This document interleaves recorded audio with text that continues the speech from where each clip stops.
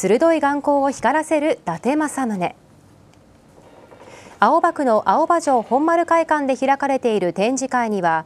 人気ゲームの信長の野望のパッケージなどを担当した長野剛さんの作品をはじめデザインを学ぶ学生らによるイラスト72点が並んでいます。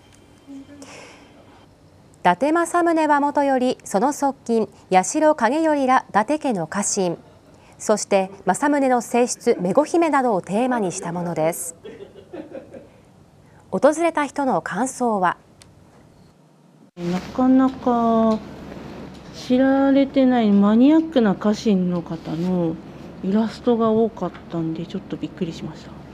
政宗の家臣とか姫あこういう人がいたんだっていうことも、まあ、知識として広めていただく意味でもですねたくさんの人に来ていただければなと思っています。この展示会は能登半島地震とおととしの地震で被害を受けた仙台城跡の復興支援のために開かれました。展示会は今月31日まで行われます。